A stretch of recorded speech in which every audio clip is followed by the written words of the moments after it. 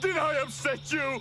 Are you so sad that this pitiful glitch of an android couldn't survive against my robot's power? We'll swallow it, because it won't be the last to go. That's what really happened to you, right, Grandpa? When you said you had to go? Huh?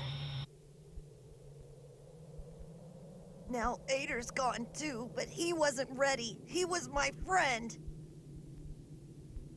And you took him away!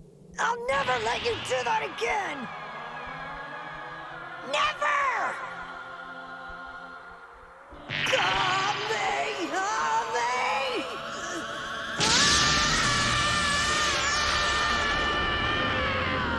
That technique doesn't work, remember?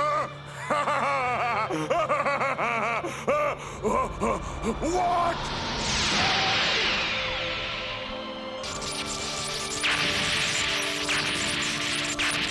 Oh,